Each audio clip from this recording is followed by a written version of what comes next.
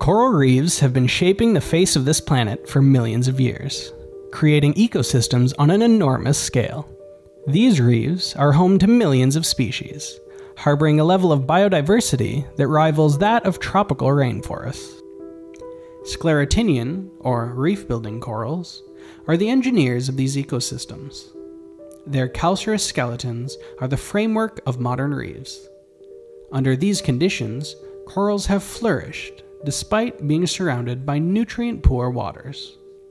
The key to their success is a symbiosis with the algae Symbiodinium, providing crucial photosynthetic energy in an environment where food is scarce. While we know quite a bit about the symbiotic relationship between coral animal hosts and their photosynthetic algae, in recent years we have also learned that corals feature a vast range of bacterial interactions. For instance, coral associated microbes play a role in nitrogen fixation and antimicrobial compound production. At the same time, we see that shifts in coral microbiota correlate with the appearance of coral disease and coral bleaching, and this suggests a link between microbes, coral health, and state of coral reef ecosystems.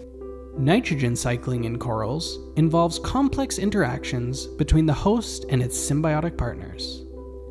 Since nitrogen is required for growth and productivity of corals, maintaining a stable and constant supply is crucial to the stability of the organism.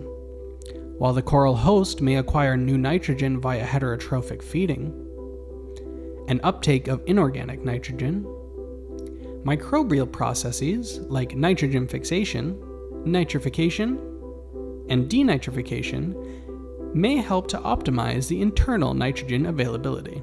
The coral holobiont is able to thrive in a wide range of nutrient conditions. We assume that microbial nitrogen fixation may help to fill the gap when nitrogen availability is limited so in times of excess nitrogen availability, on the other hand, decreased nitrogen fixation rates in combination with nitrification and denitrification processes may help to remove nitrogen from the coral holobiont. But, unnoticed by many, coral reefs are disappearing on a global scale. The direct and indirect effects of overfishing, nutrient enrichment, and climate change have caused the decline of corals around the world. Coral reefs are threatened by uh, the increasing ocean temperatures, so there's the fear that coral reefs might actually vanish within the next 100 years due to increased amounts of heat stress. In order to stop this development, scientists around the globe are searching to understand the mechanisms behind coral bleaching.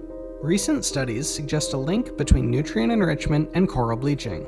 In particular, Nitrogen enrichment in combination with low phosphorus concentrations may reduce the bleaching threshold of corals by altering the membrane composition of the algae symbionts. Now, this is of course interesting if we link this with nitrogen cycling corals, because processes like nitrogen fixation, for example, can really change the NTP ratio in corals. And everything we know today appears to suggest that nitrogen fixation activity in corals indeed increases as temperatures go up. So what that implies, of course, is that nitrogen fixation may be one of the key mechanisms that can really determine the threshold at which coral bleaching occurs. Similar mechanisms may also be involved in coral diseases or coral algae interactions, highlighting the importance nitrogen cycling microbes may play in the coral holobiont. So, in a nutshell, what did we learn from this paper? First of all, nitrogen cycling may either stabilize or destabilize the functioning of the coral holobiont and within the coral holobiont um, the interaction between the animal, the coral, the zooxanthellae and the associated microbes might be much more complex than we thought so far.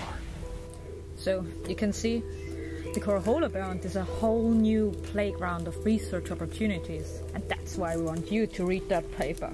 Thanks.